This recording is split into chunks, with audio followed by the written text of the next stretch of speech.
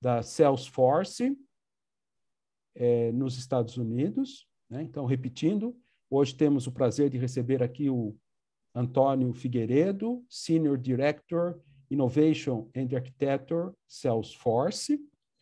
É, Antônio está trabalhando, acho que há 25 anos, aí, em várias empresas bastante importantes na, na parte de transformação digital, né? E na parte de inovação para clientes. É, é, então, executivo da Salesforce. É, ele recebeu né, o, o, grau de mestre aqui na, na ciência da computação da Unicamp.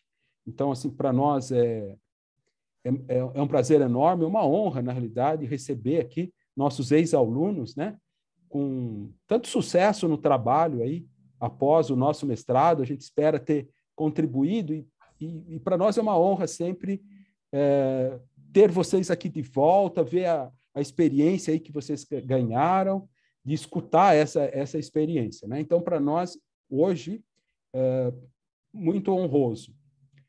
É, o, o, Antônio trabalhou com o Hans, com o professor Hans, talvez nem todo mundo conheça. O professor Hans foi, inclusive, eu estava comentando antes, ele foi o diretor também aqui do, do Instituto, mas ele já está há alguns anos é, aposentado. Né? É, em termos acadêmicos, né, Antônio, trabalhou no Sendia National Lab, acho que é no, no estado do Novo México, né? Yes. Nos é, Estados exato, Unidos. Exato.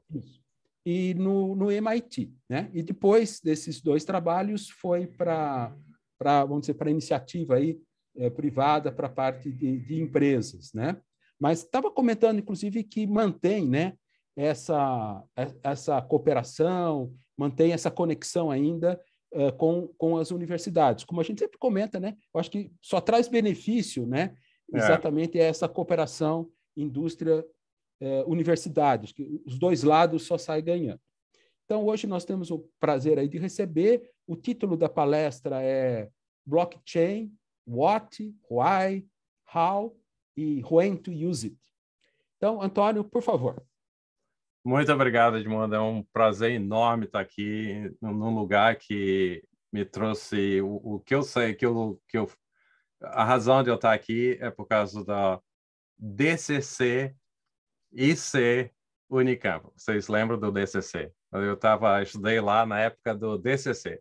Não, não sei se ainda vocês estão no barracão, mas eu, eu, eu, eu passei muito tempo naquela sala de, de micros lá do, do, do do, do DCC as, e depois as workstations e tudo mais.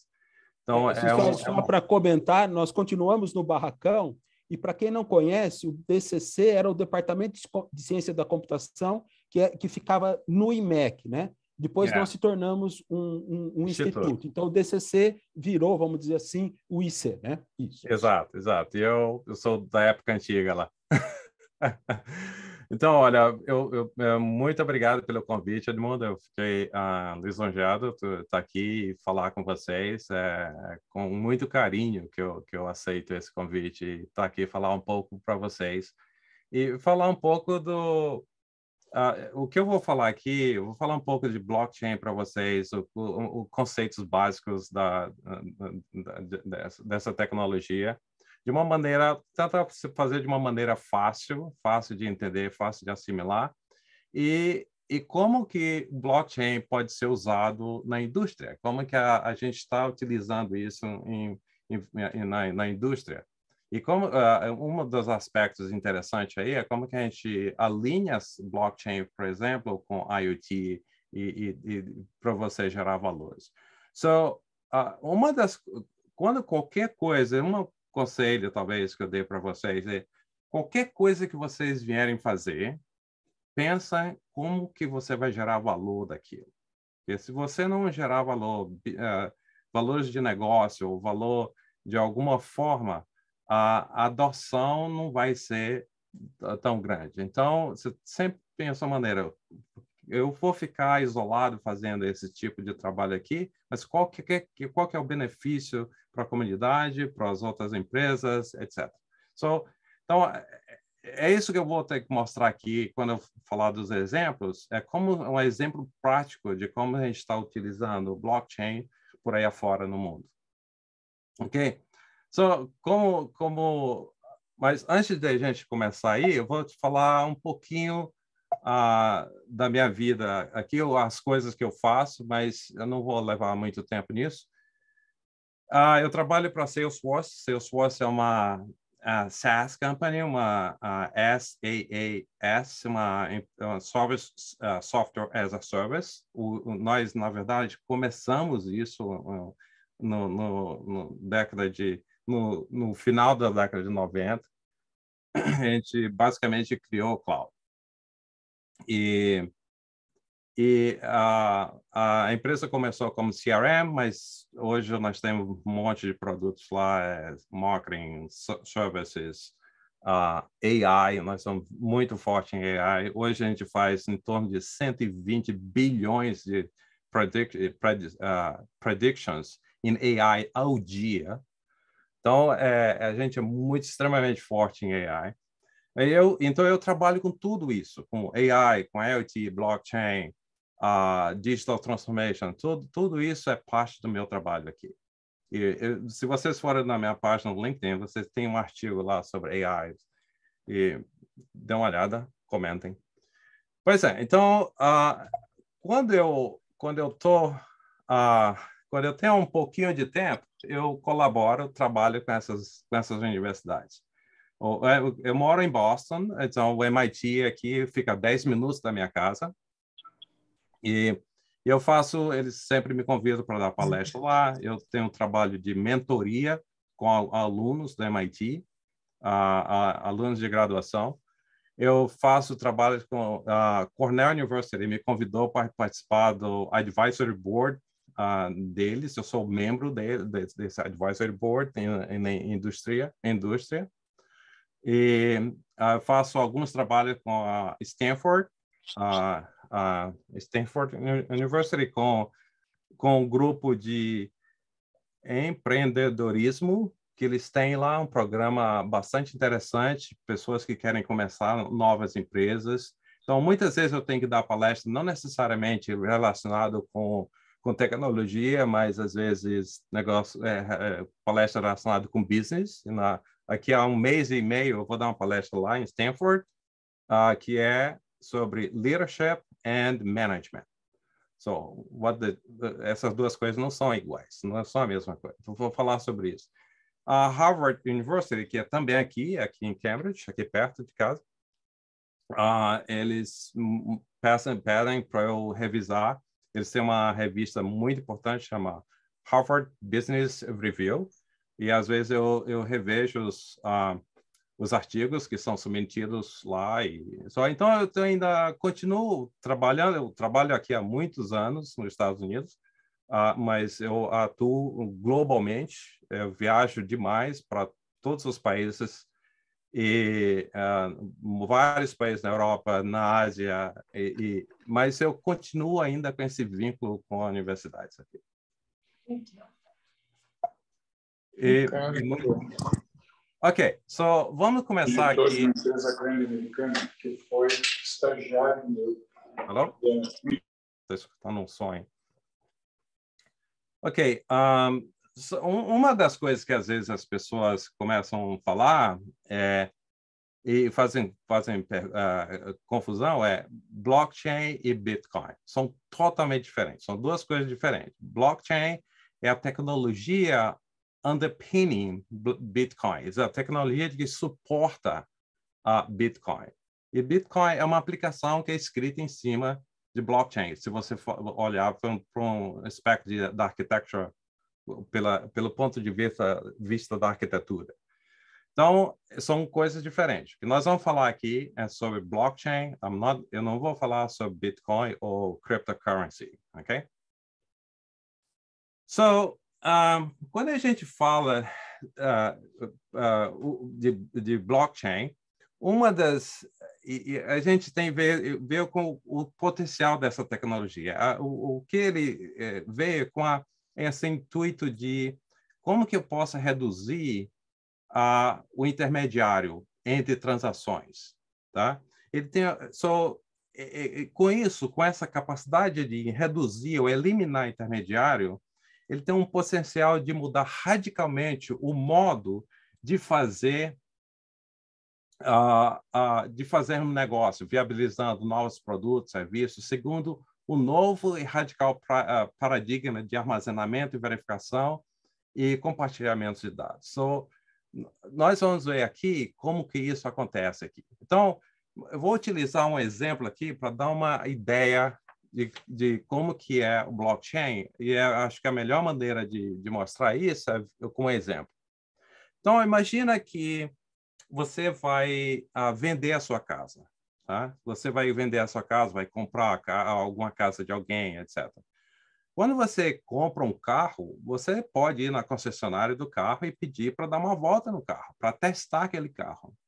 É isso? Você pode testar aquilo, aquele carro. Você, às vezes você compra um, um, produto qualquer aqui nos Estados Unidos, você pode olhar, no fundo deu certo, não gostei, devolve. Mas quando você compra uma casa, como é que você testa a casa? Imagina que eu vou comprar essa casa, aí eu bato na porta e falo, seu Joaquim, você, por favor, poderia sair da sua casa com a sua família, eu vou mudar para cá, para sua casa, com minha mulher, três, três anjinhos de três, quatro e cinco anos, três cachorros e dois gatos. Nós vamos passar aqui a semana inteira testando a sua casa. Não é prático isso. Ninguém faz isso. Né? Então, toda casa, todo terreno pode ser que tenha alguma bagagem por trás, né?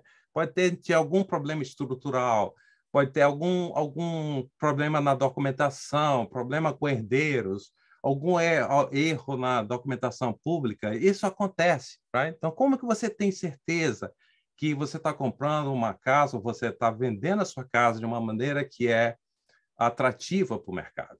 Se você não tem nenhum desses problemas. O que, que você faz? Você vai na prefeitura local procurar essa papelada para ver informação uh, sobre a sua casa, sobre a história da sua casa. Então, uh, queria apresentar para vocês nosso amigo Bob. Bob quer vender a casa dele. E ele foi na prefeitura para saber se está tudo ok. Se ele não tem alguma coisa, algum documento lá que fala tem um problema de fundação, tem um problema elétrico, o que seja. Então, o Bob foi lá e viu que tinha um papel lá falando de 1970 a casa foi construída por Frank. Depois, por John, vendeu para o John, depois o John acrescentou uma garagem, depois ele fez uma extensão na casa, depois ele vendeu para o Tom. Ops, ops. Uh, de, daí tem um documento que fala que, que teve um problema de inspeção na casa. É um problema chato. Então, ele, de alguma forma, Tom conseguiu vender a casa para o Bob, e aí está. Bob fez uma, está fazendo uma renovação, maquiada na casa para vender a casa. Mas ele não gostou dessa informação, que tem um, uma, uma, uma falha de inspeção na casa. O que, que ele vai fazer? Ele vai, ele vai, eu preciso alterar essa informação, porque são papéis. Eu vou trocar um papel aqui com outro. Eu tenho um, alguns amigos aí, eu vou trocar esse treco.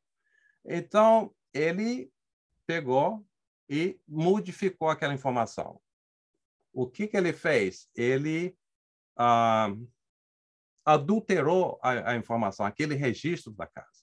Ele, vez de ah, ah, falha de inspeção, ele pôs que naquela época, em 2010, foi feito um papel de parede, acrescentou papel de parede na casa. Então, o que ele acabou de fazer foi adulterar o registro da casa. Ok? Isso totalmente é possível. Isso é possível com aspecto físico, manipulando papel, ou num, dentro, num banco de dados central.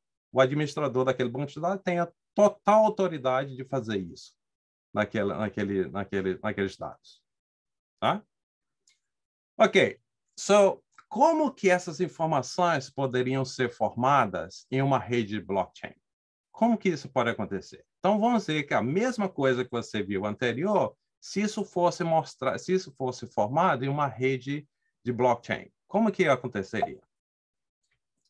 Então, o, o, o, vocês vão ver aqui que eu vou estar gerando a rede, estou gerando, criando blocos aqui nessa parte central da tela, e do lado esquerdo aqui em, em cima, vocês vão ver, à medida que um bloco vai sendo gerado aqui, ele vai sendo replicado para todos os nós da rede. Então, observa esse movimento daqui e daqui também sendo replicado para todos os nós da rede. Então, o primeiro bloco é gerado com todas as transações da construção dessa casa pelo Frank. Por exemplo, foi feito isso, foi, paguei tanto de, de, de em, com o arquiteto, paguei tanto de, de taxa de prefeitura, etc. Todas as transações relacionadas com a construção dessa casa é gerado um bloco nesse, nesse, nessa, nesse blockchain. Associado a esse bloco é gerado um hash. Então, esse é o registro do bloco, é, é gerado um hash. Esse hash, esses números que você sabe, isso aí é um, um, um hash pode ser 128, 256 bytes. É só, vocês são, conhecem isso? Então, para cada bloco é gerado um hash que identifica aquele bloco. Agora vamos ver o que acontece quando chega o segundo bloco. Essa é, é a definição fundamental de blockchain.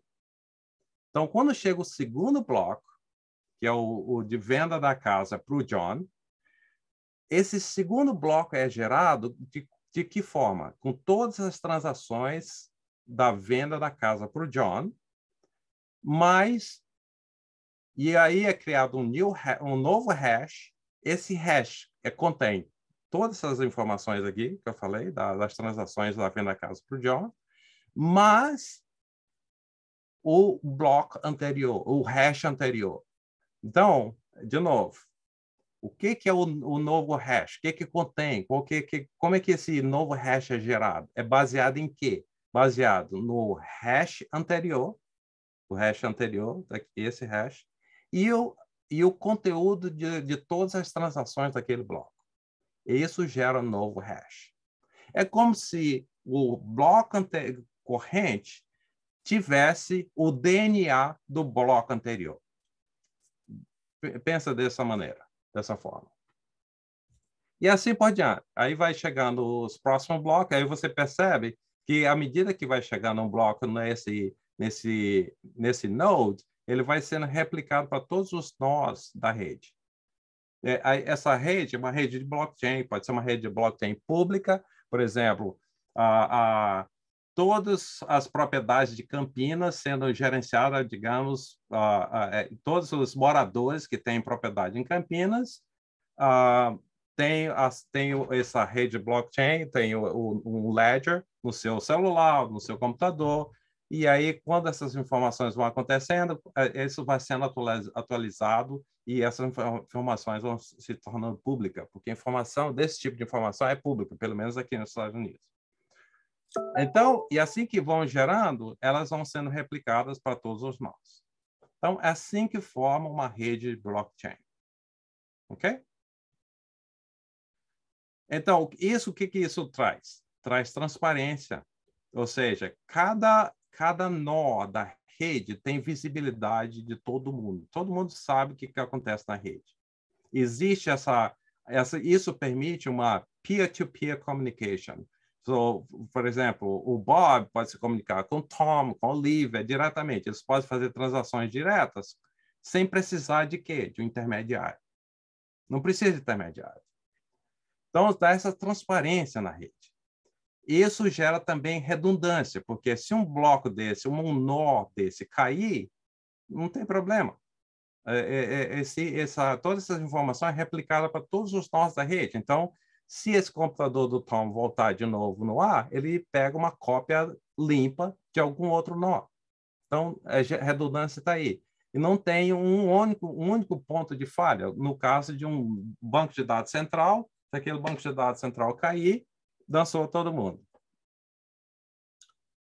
Ok, então, então como é que são construídos esses blocos? O que, é que tem dentro de um bloco desse? O bloco é mais ou menos algo desse tipo. Tem um cabeçalho, que dá informações sobre uh, informações importantes sobre o bloco, e o conteúdo é armazenado nesse, nesse, nessa estrutura chamada Merkle Tree, que é um, um hash de hashes. Agora eu vou falar um pouquinho mais na frente. So, então, esse cabeçalho ele vai indicar qual é a versão dele, qual é o nível de dificuldade. Disse, Nossa, nós não vamos ter tempo aqui de falar sobre isso. Ah, Uh, e diferente, tipo, qual é o algoritmo que aquela rede utiliza, que é Proof of Work, Proof of Stake, tem vários algoritmos por aí, vários tipos de consensos aí, tá? Então, just, vamos, vamos explorar um pouquinho mais isso aqui. Então, essa Merkle Tree, ela é gerada com, por exemplo, quando você vê a venda da casa para o John, tem várias transações que envolvem aquela venda da casa para o John, por exemplo, transação 1, 2, 3, 4, por exemplo, ela você passa um, um hash, gera hash 1, etc. Aí vai ter outro hash, é então é um hash de hashes. Esse hash de hashes é que é, é como o, a, o conteúdo de um bloco é armazenado no blockchain. Ok? So, vamos voltar para o nosso amigo Bob. Now, os dados dessa, dessas propriedades eh, de Campinas está no tá numa rede blockchain. E o Bob, não, vamos ver o que, que acontece. Mas ele falou, olha, mas eu tenho uma cópia aqui no meu celular do, dessa do meu blockchain.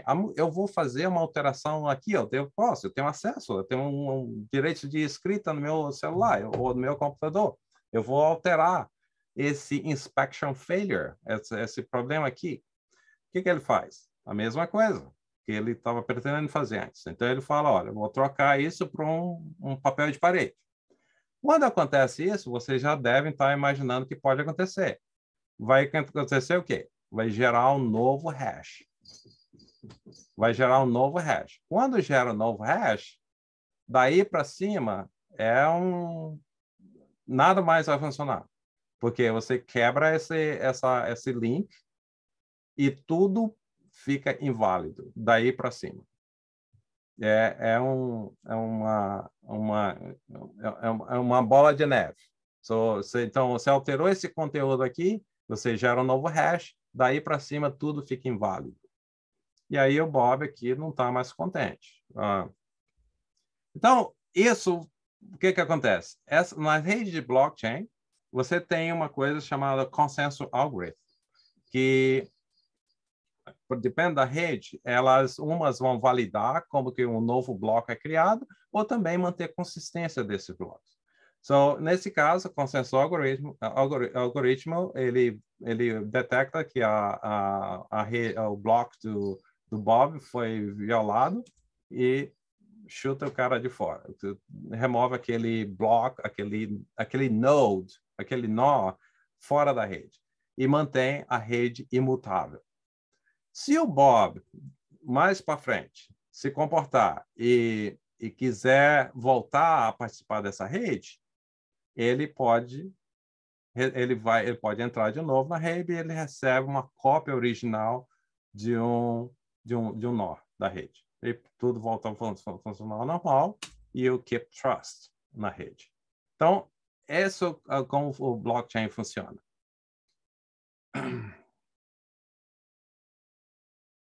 Então, existem vários tipos de, eh, de redes de blockchain. Só existem redes públicas, por exemplo, nesse exemplo que eu estava mencionando, pode ser uma rede pública para todas as propriedades de Campinas. E você pode ter, e quando você tem empresas utilizando blockchain em áreas de negócio, é muito comum você encontrar redes privadas, ou uh, tem vários nomes para isso. Ou pode ser rede privada, ou, ou veja, eh, rede controlada, precisa que as pessoas tenham a permissão de acesso, etc. Então, um, ah, essas são as duas mais comuns, mas tem vários outros tipos aí, redes híbridas.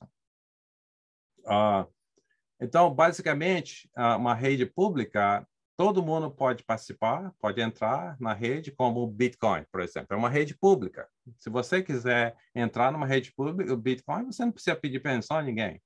Você, uh, você uh, compra, você cria a sua chave pública e privada, acessa a rede compra ou vende o Bitcoin.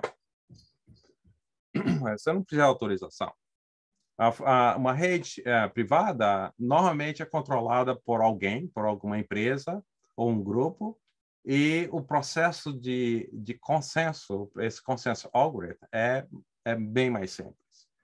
por exemplo, uma rede de uh, um Bitcoin, quando você imagina, por que, que não está sendo muito utilizado Bitcoin para você uh, utilizar transações que nem você faz transação com, com cartão de crédito? Por que, por que, que não é, não é, não, ainda não chegamos lá? Uma transação no Bitcoin, ela demora mais ou menos em torno de 10 minutos para ser executada. Imagina você está na fila do Carrefour, comprando sua mercadoria, o carrinho cheio de, de compras, e aí você vai pagar com Bitcoin. E aí a, a, a moça falou, olha, está processando. Aí você fala, pessoal da fila, uma fila enorme. Você fala, olha, pessoal, espera 10 minutos aí, que aí vai estar vai tá tudo beleza. Não é prático. Não é prático ainda para isso. Então, uh, então uh, tem, esse, tem esse, ainda esses problemas, porque um, o, o, o, algoritmo de consenso é bastante complexo.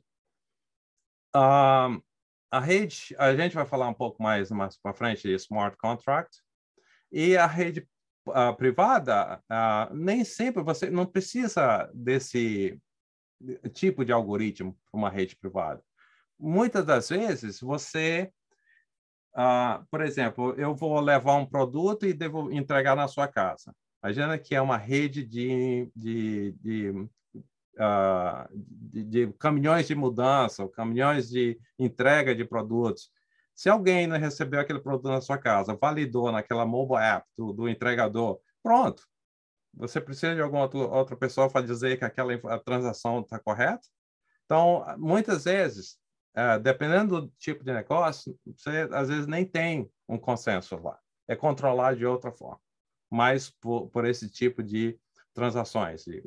Clicou, aceitou, pronto, tá? Recebeu, check. Uh, existem várias plataformas, eu não vou entrar em detalhe. Ok, so, quando eu estou falando aqui, eu estou falando de tipos de blockchain. No, uh, mas quem que implementa isso? Existem várias plataformas por aí. Tem Corda, Ethereum, uh, Hyperledger, uh, Sawtooth. Essas são as principais que tem por aí. Tem várias outras. E as linguagens que elas foram escritas e as linguagens que elas suportam e os diferentes consensos algoritmos que elas, que elas utilizam. Então, vários, tem várias implementações de, de, de blockchain, e essa aqui é só para dar alguns exemplos aí. So, vamos dar uma olhada num caso de uso aqui. Uh, vamos combinar IoT, blockchain e smart contract. Então, uh, a noção de smart, uh, de smart contracts são aplicações descentralizadas desenvolvidas no blockchain. Uh, isso possibilita a realização de transações condicionais. Uh, desenvolvimento, isso, é, isso, é feito em linguagem de programação. Isso é um código, escrito em código, em, em code, uma programming language. É like if then else. So, é, é esse tipo de, de cláusulas que é muito comum em, em smart contracts. Eu acho que se chamaria aí de contratos inteligentes. Então, basicamente, a maneira que funciona é, hoje, quando a gente tem um contrato com alguém, por exemplo, eu vou fazer um contrato com essa empresa de mudança que vai mudar meus móveis dessa casa para outra casa. Eles assinam um contrato. Se você quebrar meus móveis, você vai pagar ou alguma coisa do tipo. Tem que ter alguma cláusula lá nesse contrato. E aí, esse contrato vai para um, um, alguém, vocês assinam, ah, as duas partes assinam, isso, muitas, dependendo do que for, tem um advogado envolvido, ou tem um, um, um cartório envolvido, tem uma, uma, instituição financeira envolvida, dependendo do que tipo de contrato que for. Aqui não tem ninguém envolvido, não tem intermediário. As coisas, porque nada pode ser alterado no blockchain, então é muito fácil de você é, fazer auditoria no blockchain para ver, para validar as informações que estão lá. Então, isso é um smart contract. Ok? Uh, existem vários uh, uh, casos de usos que se estão utilizando. Aqui eu estou te mostrando três bem é, é, interessantes aqui, que são bem comuns em, em, em, no no, na utilização de blockchain. Um é chamado de você atestar a origem de um determinado produto, provenance attestation. É, é você verificar a origem daquele produto. Essa salada, esse alface que você tem no prato, esse tomate que você põe no prato, é realmente um tomate orgânico? Como é que você sabe? Só porque tem aquele selinho, aquele selinho realmente é confiável? Como o mel que você está usando é um mel que realmente é de abelha ou, ou aquilo tem um monte de açúcar lá? Então, então uh, esses são como que você utiliza blockchain com smart contract, por exemplo, para resolver problema de disputas de resolução. E utilizando IoT para coletar dados do, do ambiente para você passar esse dedo para o blockchain de uma maneira que você possa auditorar as informações em caso de alguma disputa, coisa do tipo e também para executar os smart contracts. Vamos ver como é que funciona isso. Uh, esse aqui é uma, uma arquitetura típica que se encontra por aí, uh, que um, as pessoas estão utilizando quando estão utilizando blockchain. Então, você tem aqui o mundo físico, por exemplo, algum, alguma fazenda que produz, por exemplo, laranja, ele transporta essa laranja nesse caminhão, ou ela foi esse, ou pode ser alguém que faz sorvete, transporta esse sorvete para alguma fábrica ou lugar que faz o sorvete. Isso vai para um outro distribuidor e aí até chegar no Carrefour. E aí o consumidor compra. Então é um supply chain pipeline aqui que é bem comum na nossa vida, tá? Então como que isso funcionaria com o blockchain? Uh, imagina que essa fazenda, uma fazenda que tem uma autorização, tem, um, tem uma fazenda que tem uma, um, uma, uma, uma, uma fiscalização rigorosa para ter certeza que os produtos que são gerados lá, elas têm garantia de que o produto é, é honesto, é, é correto. E essa fazenda produz ah, essa fazenda produz algum produto que, por exemplo, a temperatura não pode passar, por exemplo, de 10 graus, 15 graus. Esse caminhão aqui, por alguma razão, a geladeira desse caminhão quebrou e a temperatura está 20. E aí, quando você chega aqui, quando ele entrega esse caminhão e chega nessa, nesse local aqui, nessa, nessa fábrica, ele, o, o, o, lembra que o smart contract é um, é um programa de computador que gera, que roda no blockchain, ele vai rolar, rodar esse programa e aí vai verificar que teve uma violação na temperatura em algum momento, porque é, cada, a cada digamos que eu estou coletando essa informação, essa temperatura a cada cinco minutos, ou a cada dois minutos, ou a cada meia hora. Essa informação está indo para o blockchain, o smart contract roda aqui e fala, olha, teve uma violação de temperatura, não pague essa ou dê uma penalidade para esse para esse transportador aqui. Esse outro aqui, tudo bem, não teve nenhum problema. Esse outro aqui, não não não, não, não entreguei, não teve problemas e assim por diante. Então, está se utilizando muito isso de uma maneira que uh, você pode validar esse pipeline todo aqui de, de supply chain sem ter que ter a, ajuda ou, ou, você tem que você tem que precisar de um advogado ou ninguém assim para falar olha você não está me pagando por quê? Está aqui toda a auditoria do que foi feito está registrado no blockchain você a temperatura do sorvete não poderia ter passado de dessa geladeira não podia ter passado de tanto o sorvete derreteu depois congelou de volta mas já no produto não é mais com a qualidade que, que esperava depois. Então, esse é um exemplo bastante típico que está utilizando blockchain. Por exemplo, na África, 40% das vacinas que são enviadas para a África são jogadas no lixo, porque ah, elas têm problemas de, ah, de armazenamento. Põe sem, sem, sem, sem refrigerador, o refrigerador quebra, as vacinas acabam se perdendo. 40%. Isso é horrível. E o pior ainda é aquelas pessoas que é, é, é a, a, a, vacina foi a, a temperatura subiu, eles não controlaram a temperatura, depois esfriaram a vacina de novo e aplicaram na pessoa quando a vacina já não tem mais efeito nenhum. Então, é, é, é caso sério. Pode, várias pessoas podem morrer por causa disso. Você está achando que está vacinado, no fundo não foi vacinado. Isso, qualquer coisa. Covid, you know, uh, outros, outras, outras coisas. Flu, qualquer coisa. Quando por que, que eu ponho uma arquitetura desse tipo? Aqui é uma arquitetura coletando dados do, da, do campo, coletando os dados do que está acontecendo no campo, e aí essas informações vão sendo enviadas para o blockchain e ficam lá. E, é, como vocês sabem, blockchain é imutável, ninguém muda mais as informações. Mas às vezes eu preciso de informação. Quem é aquele driver? Quem é aquele motorista que estava aqui para aquele, aquele truck? E aí e que outras informações contextuais que eu possa enriquecer o, o produto, a solução final?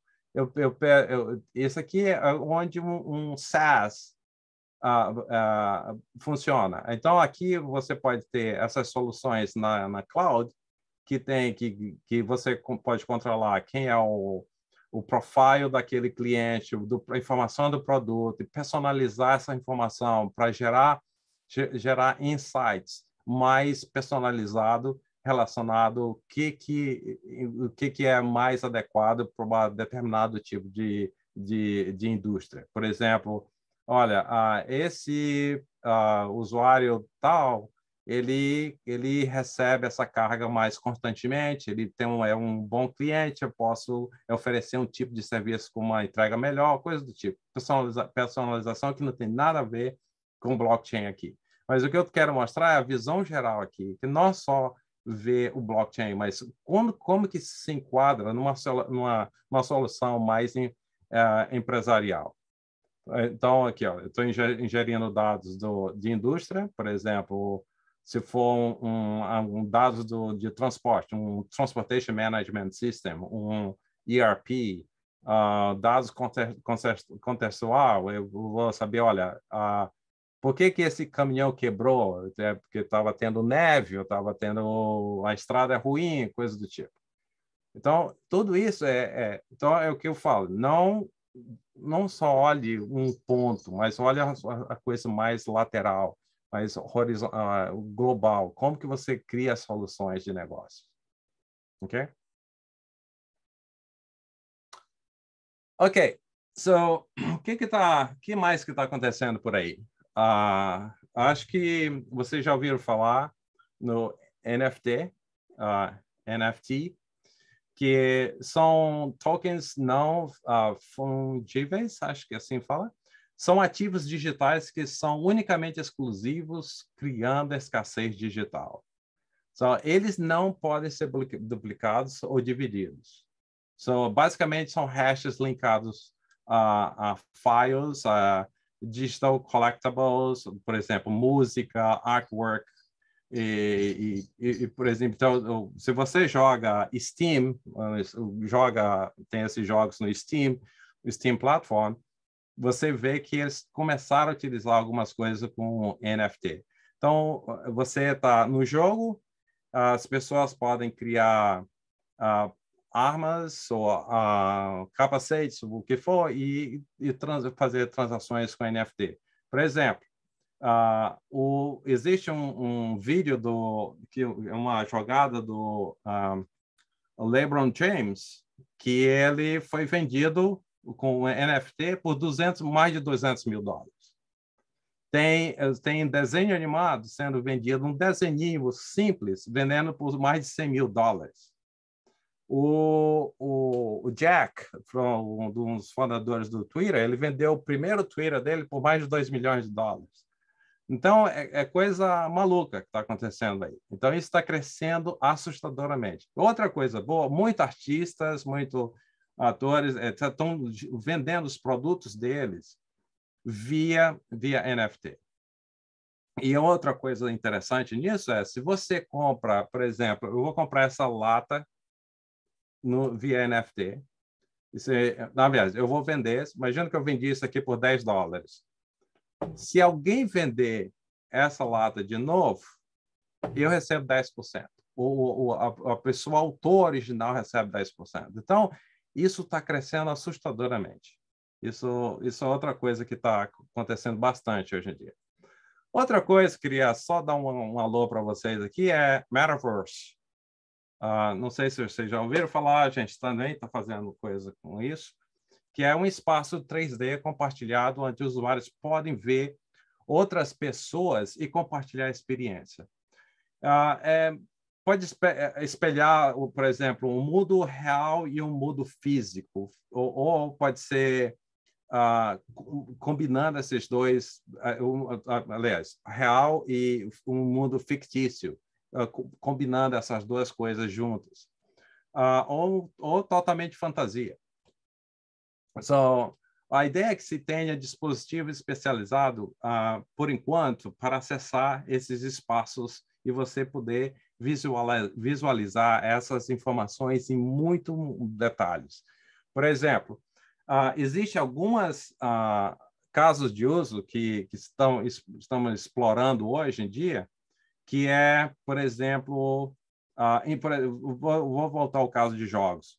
Imagina que eu tenho um jogo, eu entro dentro do jogo, eu entro dentro do jogo e eu que eu possa uh, interagir com os personagens, com os caracteres do jogo, mas também eu posso fazer transações de negócio. Eu posso vender, uh, por exemplo, uma, uma, uma arma que eu criei, um, uma roupa, é, e todas essas transações pode ser armazenado no, no blockchain. Uh, outra coisa mais prática que está acontecendo é treinamento de, na área médica. Você, sim, você como se você estivesse dentro do corpo humano do paciente, olhando, por exemplo, que o, gallbladder precisa tá, as pedras tá pequenas. O gallbladder é um uh, vesícula, que você olha que o vesícula está muito fina, que e, e, sabe, você está lá dentro dos órgãos, dentro, dentro do paciente. Então, está se começando a utilizar isso para treinamento em medicina, por exemplo. Então, isso tá, vai estar tá mais presente na nossa vida. Vocês vão isso é só algumas ideias que eu estou falando para vocês de coisas que estão acontecendo hoje e isso provavelmente pode uh, chegar a ficar um pouco mais sério. Outra coisa que outros movimentos que estão acontecendo é, é cada dia você vê um monte de problemas em termos de privacidade. É você ser seu dono do seu próprio dado e você compartilhar o seu dado com pessoas, com, com organizações que realmente precisam do seu dado. Então, não, o que, que você tem de dados? Você tem a sua informação demográfica, onde você mora, o seu nome, o seu telefone, e-mail, etc. Um monte de informação, mas também tem informações de comportamento. Ah, eu gosto de uh, café, eu gosto de Uh, eu gosto de, de, bicicleta, eu gosto de fazer natação, eu gosto de uh, outros que quem, quem fuma fala que fuma, etc. Então todas essas outras informações são valiosas isso para dependendo de quem quer utilizar essa informação. Mas se você vai comprar uma passagem aérea, você precisa com, uh, compartilhar tudo com essas informações. Se você vai comprar um café no Starbucks, você precisa dar todas essas informações para ele não, você compartilha aquilo que vai te trazer um certo valor para você. Então, isso está acontecendo. Um dos, um dos, ah, uma das iniciativas interessantes que está acontecendo com isso está é, tá sendo feita pelo aqui no, no, MIT com o, o, o Tim Berners-Lee, Sir Tim, uh, Tim Berners-Lee, ele, o, o que conhecido como inventor da web, ele está fazendo bastante algo bastante interessante em relação a isso. Isso, as coisas estão movendo bem nessa área. Bom, era só isso que eu queria dar uma, uma geral para vocês. Ah, espero que uh, tenha ajudado aí. Uh, é, são essas coisas que estão acontecendo por aqui. E muito obrigado. Ok, obrigado Antônio aí pela excelente palestra aí pela pela pela sua visão aí de para qual que é a tendência aqui, né, na nossa área de, de computação. Então, eu vou, vou abrir para perguntas. É, primeiro, é, o, Marcelo é o nosso aluno aqui, ele está no Zoom, então eu vou pedir para ele mesmo pelo microfone fazer a pergunta, tá, Marcelo? Pode fazer pelo microfone. Obrigado, professor. É, obrigado, é, Antônio. É, Antônio, eu conheço bem a plataforma. Trabalhei já com seus, trabalhei já com seus já por bastante tempo. Minha pergunta é, como é que a Salesforce está absorvendo esse conceito? Né? Eu conheço a nuvem de Sales Cloud, Service Cloud, agora tem a, a de e-commerce que está em, em, bastante crescimento. Como é que isso está sendo absorvido como produto pela Salesforce, esse, esse produto de blockchain? Ah, ah, obrigado pela pergunta, Marcelo. Ah, e bom saber que você conhece a plataforma, que está utilizando. Ah, a gente a, a, gente ficou fazendo bastante uh, uh, fazer, assim, avaliando o, com que caminho que a gente iria seguir. Então nós chegamos a, a construir um produto de uh, blockchain e a gente viu que era melhor a gente fazer parcerias do que levar o produto para frente. E, e, e a, a, ideia é basicamente aquela, aquilo que eu mostrei nessa arquitetura aqui. É, porque imagina só, aqui quando eu estou falando aqui uh, cadastro de usuários e tudo mais, basicamente é Service Cloud, é, you know, like informações sobre, you know, have a contact object, So, ou, todas essas informações eh, são armazenadas aqui na Salesforce. E, e, e tudo quanto é informação de transações do negócio vai para o blockchain, coisa do, do, tipo do IoT. Então, essa é uma, uma arquitetura bem básica, bem, bem típica de como isso está sendo implementado por aí fora. Uma coisa interessante, e esse seria um valor muito bom que a Salesforce traz para isso, é e pode ser uma, uma outra pergunta que alguém possa estar pensando, é, com, hoje em dia, com essa questão de regulariza regularizações e, e normas e privacidades, que nós temos, por exemplo, no, no, na Europa, a GDPR, tem aí no Brasil também uma, uma regularização assim. Alguém, qualquer pessoa, imagina que esse motorista aqui fala, fala olha, eu, eu quero que minha informação seja removida do blockchain. Imagina se você fez uma, uma bad architecture e você mandou não só a informação de IoT, mas informação do José da Silva aqui no blockchain, dançou. Aquela informação do José da Silva nunca vai ser removida de lá, porque está lá no blockchain, é imutável. Mas o que você faz é, você manda para o CRM a informação do, do José da Silva, manda para cá, e manda as transações do truck dele para lá, para o blockchain. Assim, e aí você, quando você manda o registro dele aqui, você faz um hash de todas as informações dele, e aí pega esse hash, que aqui na, na Salesforce, no, no, no seu cloud, e associa com aquele bloco do esse bloco que veio uh, uh, do, do caminhão dele no blockchain.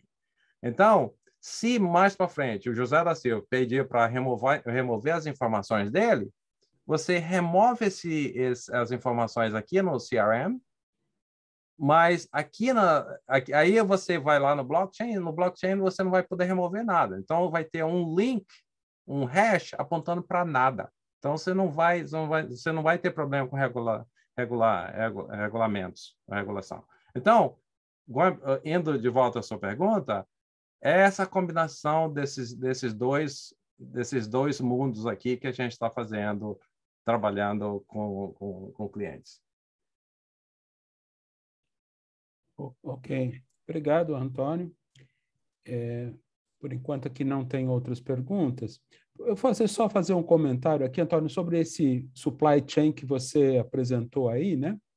É, na realidade, eu, vi um caso que é até o contrário é, foi um caso na Suíça, que uma empresa de transporte estava recebendo algumas reclamações dos compradores que a temperatura estava chegando com problema nos compradores, mas não estava chegando. Então, a própria companhia de transporte quis montar um blockchain para que ela pudesse provar que a temperatura estava adequada no transporte, né? Exato.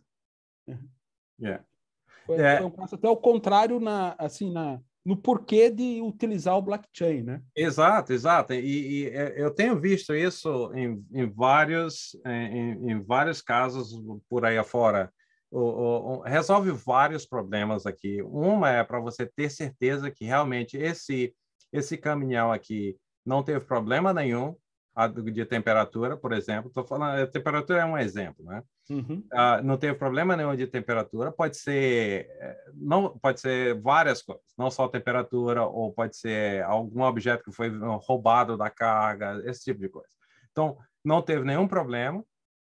E, e também você evita conflitos, porque vai ficar um apontando para o outro. Não, eu eu recebi o produto, eu, tá aqui o que eu recebi. Não, alguma coisa está fal tá falhando. E se, se fosse, por exemplo, uma, uma das caixas, uh, esse caminhão levou para cá, e depois esse pegou para cá, e esse levou para cá, e ó, chega nesse ponto aqui, você detecta que uma caixa está so, so, sobrando, está uh, faltando, você tem como fazer esse rastreamento em, em todo, em todo o pipeline. Então, uh, é, é, é, facilita fenomenalmente essa indústria. E isso é uma coisa que está acontecendo bastante. Ah, tem, por exemplo, em hospitais também, você tem ah, ah, você, quando você faz um transplante de, de fígado, por exemplo, você tira o fígado de um paciente, põe no congelador, e aí o que acontece se alguém eh, se alguém remove aquele a temperatura daquilo lá sai. Então, tu, é, é, várias áreas, várias indústrias estão, utilizando esse tipo de, de, de enfoque. Ok, obrigado. É, por enquanto, não temos ainda mais perguntas. É, eu tenho uma pergunta assim com relação a, a Salesforce, né, nesse sentido de ser uma cloud, né? Hoje a gente fala muito essa questão de computação na borda também, não só numa cloud centralizada, mas na borda. O blockchain é algo distribuído, mas, de certa forma, quer dizer, o controle também é distribuído, né? É, como que essa questão de computação na borda está sendo visto pela, pela, pela Salesforce? Oh, oh, Edmanda, é, é, uma excelente pergunta. Ah, o que eu estou falando, a borda é isso aqui, tá vendo? IoT isso. Edge é. É, é a borda. Ok. Por que, que isso é importante? Por que, que é importante você ter essa computação na borda aqui? Porque você não precisa mandar tudo que você uhum. recebe uhum. do campo para a cloud. No cloud está o blockchain, está o, o SaaS solution. Então, por que, que você não precisa mandar tudo? Se você está mandando que a temperatura do sorvete é, é zero grau a, a, a 2 minutos e 5, é zero grau a 2 minutos e 6, é zero grau a 2 minutos e 7, 2 minutos para que, que você precisa mandar esse monte de zeros? Por que, que você não, não manda quando tem uma mudança de temperatura? Então, você filtra, porque você vai receber menos dados aqui. Você filtra aqui na borda coisas que não precisam ser enviadas para lá. E, às vezes, você precisa aplicar algumas outras regras de negócio. E outra coisa é a questão de segurança também. Você aplica certificados. Eu tenho um IoT device aqui, e esse IoT device é validado aqui na borda. Se alguém tirou esse IoT device desse caminhão e pôs um outro, ops, esse caminhão não, não, não vou receber mais, vou invalidar esse dado que está vendo desse outro lugar. Então, é importante ter essa computação na borda, por várias razões. Uhum. Ok, obrigado. É, o Marcelo tem mais uma pergunta. Pode, pode fazer usando o microfone, Marcelo. Última pergunta, prometo. É, Antônio, uma pergunta a respeito tá, da própria plataforma. Tá?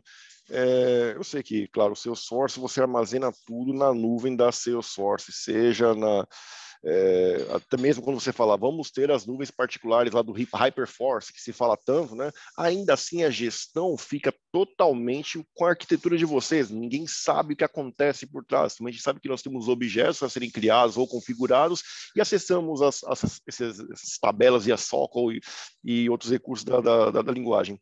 Minha pergunta é a seguinte: o, o recurso de blockchain de vocês ele vai ser análogo ao que é feito hoje com todos os outros recursos das outras nuvens, ou seja, eu vou ter que acessar, ou seja, vocês vão, vão, vão ser uma nuvem centralizada, vocês vão é, praticamente vão centralizar e isolar todo e qualquer é, acesso, vocês vão fazer toda a gestão, armazenamento. É essa ideia de vocês é, em, quando forem fazer liberar alguma solução de blockchain, é isso? Não, não, não, não, não, não, não é isso não. Uh, primeiro é o seguinte, que uh, como, eu, como eu falei antes, a gente está a gente está deixando a parte de blockchain com outros parceiros para prover, prover a solução e a gente considera, é, se concentra mais na, sol, na solução geral, ok?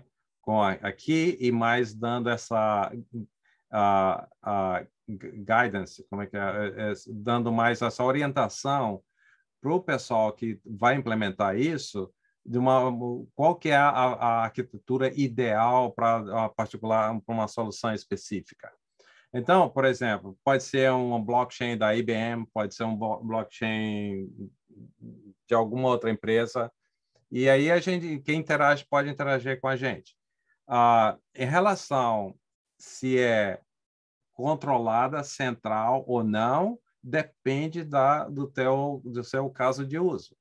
Por exemplo, existem, ah, ah, para esses casos aqui, de, de, esse tipo de exemplo aqui, com supply chain, ah, provavelmente aquela empresa de supply chain, let's, uma, uma, vou dar um exemplo aqui. Por exemplo, ah, só para pegar um nome qualquer de exemplo, não estou falando que é aquela empresa, mas digamos que a mudanças confiança, que acho que talvez até existe aí em Campinas, não sei.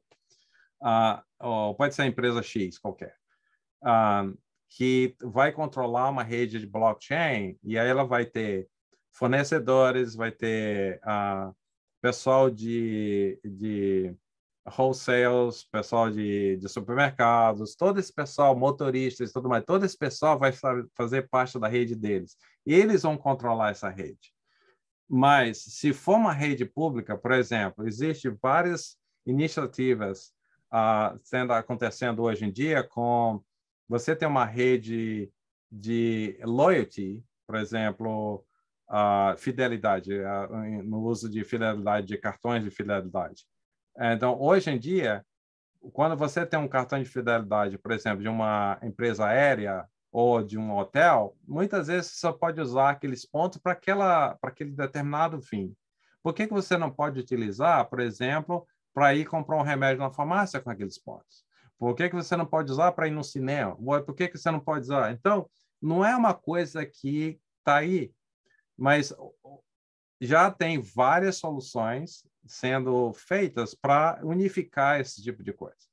E, e assim você é, aí seria o quê? Um blockchain com uso público e não ter esses controles que a gente tem hoje. O que teria era um mapeamento que um ponto no a empresa aérea, quanto que valeria um ponto naquele supermercado perto de casa, coisas do tipo. Mas, uh, Marcelo, pode ser uh, não é a questão de controle, é como, como quem que vai implementar a solução. Ok? Qual, que tipo de, qual, qual que é o, o caso de uso que é requerido para aquela solução? Ok, obrigado. Mais alguma pergunta? Vocês estão muito quietinhos hoje. Mais alguma pergunta? Eu, eu, tenho uma curiosidade, sabe, Antônio, sobre o que você comentou sobre o, o Metaverse. Uhum. A, a, Salesforce assim tem algumas, tem atuado, tem alguma solução, até onde ela conseguiu, não, não, onde ela vai? Não, esse, essas coisas são ainda embrionárias. Uhum. Tá? É, a gente, isso, isso vão, vão ter algumas coisas acontecendo, mas no momento o que eu posso falar é que até onde eu posso falar é, é são coisas mais uh, uma coisa que a gente chama lá skunk work, é, é, é coisas que estão sendo embrionárias e vamos ver o que, que vai acontecer com, a, com, essa tecnologia. Mas hoje não tem nada que a gente vai oferecer nisso, não temos um plano, nada ainda para isso. É, eu estou falando aqui no aspecto geral, não necessariamente uhum. a Salesforce. É, uhum. Coisas que estão acontecendo nesse momento. Uhum. E, e, e, eu acho que isso seria interessante mencionar aqui, porque em algum momento vocês vão estar escutando isso por aí. Uhum. Ok. Não, não, eu, eu, eu, entendi que era um pouco a sua visão sobre yeah. pontos que, que, que podem ser uma tendência, né? Sim, Aí sim. a minha curiosidade será se o Salesforce estava atuando também né, nessa, nessa, nessa, nessa área. Não, não. Por enquanto, não. Uhum. Tá, tá, tá ok. Bom, Antônio, a gente não tem outras perguntas, mais alguma, tanto do YouTube, YouTube nada, né? Por enquanto, André, né? E Bom, então nós vamos assim encerrar, Antônio. Como eu falei no início, agradeço muito a sua presença. Sempre bom ter pessoas que que conviveram aqui no IC uhum. e estão retornando para mo mostrar, mo contar para nós a experiência, para compartilhar essa experiência. Obrigado aí pela, pela, pela apresentação manteremos em contato, tá, Antônio? Com certeza, Edmundo. Eu tá que agradeço, muito obrigado. Foi um prazer estar aqui com vocês e estamos aí. Estamos com o precisar, gente... Então, tá bom. Um grande tá abraço. Então, um abraço.